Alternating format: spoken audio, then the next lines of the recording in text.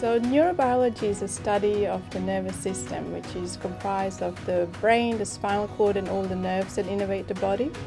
And we're trying to understand how the nervous system uh, controls the rest of the body, that is different organs and systems within the body, and in turns how it's influenced by uh, different organs within the body. There are a lot of um, brain disorders, everything from um, intellectual disabilities um, to neurodegenerative disorders. With aging, the brain cells can slowly die and become dysfunctional uh, and lead to cognitive decline. Uh, and then this can be exacerbated in conditions like Alzheimer's and Parkinson's disease where certain neuronal populations uh, have accelerated death. So we are studying the immune cells, be it in the brain or in the rest of the human body, and how they interplay with the nerve cells and the different brain cells in the brain to allow for optimal function of the brain.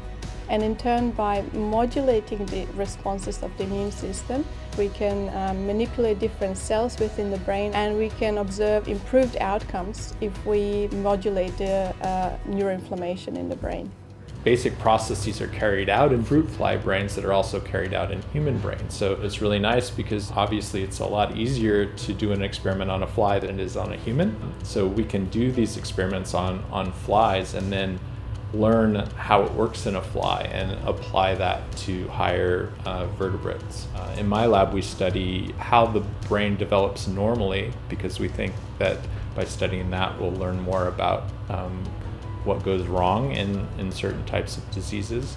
But then we're also um, specializing in motor neuron disease and using our model system to study that. Motor neuron disease is a disease of motor neurons that control movement and muscles in, in, in people.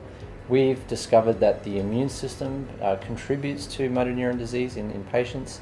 Uh, we've shown that uh, patients with motor neuron disease have, have increased inflammation in the bloodstream, but as well as in the, the brain and spinal cord. Uh, our studies have identified a potential target that we think is upregulated in patients with MND, and importantly, we have a drug that can inhibit this inflammatory process.